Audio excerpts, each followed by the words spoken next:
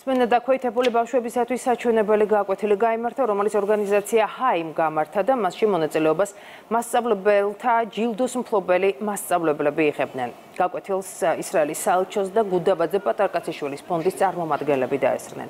ორგანიზაცია ჰაიმ მასწავლებლის ეროვნული ჯილდოს მფლობელმა ხათუნა რაზმაძემ გუდაბაძე პატარკაციშვილის ფონდის ფინანსური მხარდაჭერით ჩამოაყალიბა და იგი უკვე 24 მოსწავლეს აერთიანებს.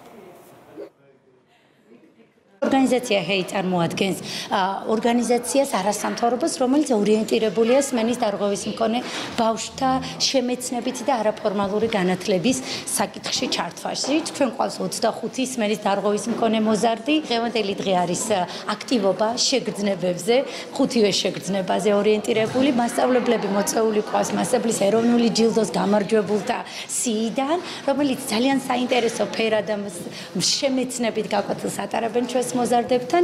ჩვენ ყველანაირად მხარს უჭერთ პედაგოგებს და გამოხატულება არის ასე ვთქვათ ერთ-ერთი რომ იმ პრიზით რომელიც ქალბატონმა ხათუნამ შარშან ამ კონკურსში გამარჯვებით მიიღო მან თბილისის მერიის დაფინანსებასთან ერთად გამოიყენა და შექმნა ეს სასწავლო ცენტრი რომელიც ეხმარება შეზღუდული შესაძლებლობების მქონე ბავშვებს განევითარონ სხვადასხვა უნარებით. For me personally, პირადად ჩემთვის ეს ამაღელვებელი გამოცდილება. ისრაელის საელჩო მრავალ მსგავს პროექტშია ჩართული და ეხმარება სპეციალური საჭიროების მქონე ბავშვებს.